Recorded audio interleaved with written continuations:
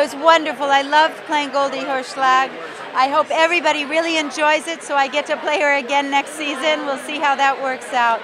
But really enjoyed her. Very different kind of woman for me to play. Acting is really the only thing I really know. So I uh, can't talk about it very well, but I know that when I'm doing it, I feel comfortable. I feel like I'm doing something I, I know what I'm doing. And I this group of people to work with them was uh, oh more pleasure than I deserved.